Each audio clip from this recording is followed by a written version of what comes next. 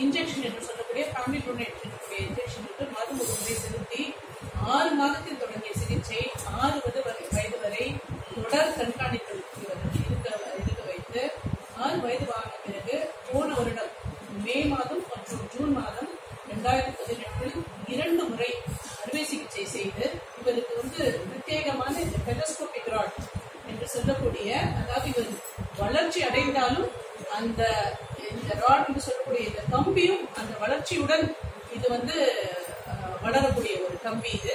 அந்த ஒரு பிரத்யேக கம்பியை பொருத்தி இப்போது இவர் வந்து நல்ல நிலைமையில் அந்த வளர் வளைவு எல்லாம் எண்பத்தைந்துல இருந்து தொண்ணூறு சதவீதம் அதை வந்து திருத்தி அமைக்கப்பட்டு நன்றாக நடந்து இப்பொழுது பள்ளிக்கும் சென்று கொண்டிருக்கிறார். சரவணன் ஆறு வயது உளவுத்துறை சேர்ந்தவர்.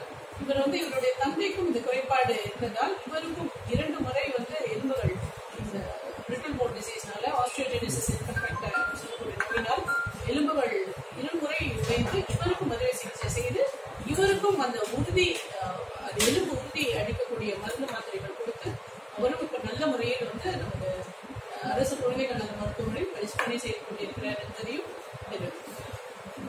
இது வந்து முழுமையாக நமது முதலமைச்சரின் விரிவான காப்பீட்டு திட்டத்தின் கீழ் செய்யப்பட்டது அறுவை சிகிச்சைகள்.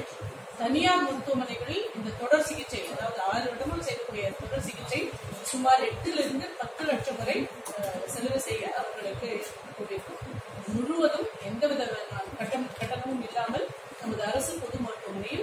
அஹ், துறையை சேர்ந்த மருத்துவர் பேராசிரியர் டி முகமது இஸ்மாயில் துறை தலைவர் அவரின் கீழ் மருத்துவர் பேராசிரியர் பசுபதி அவர்களின் குழு இந்த அறுவை சிகிச்சையை வெற்றிகரமாக செய்து இந்த நடவடிக்கை இந்த சிறுவன் இன்று வந்து நன்றாக நடந்து பள்ளிக்கு சென்று கொண்டிருக்கிறார்.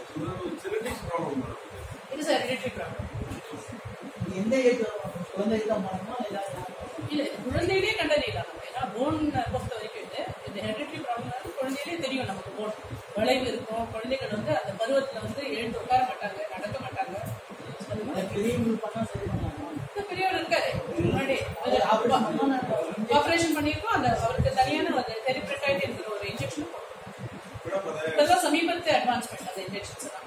To make the bone strong bones வளைந்த இந்த அதை சிறு சின்ன வயசுல கண்டுபிடிச்சிட்டோம்னா அந்த வளைவை வந்து சரி பண்ணலாம். ஆபரேஷன் அந்த கம்பி வந்து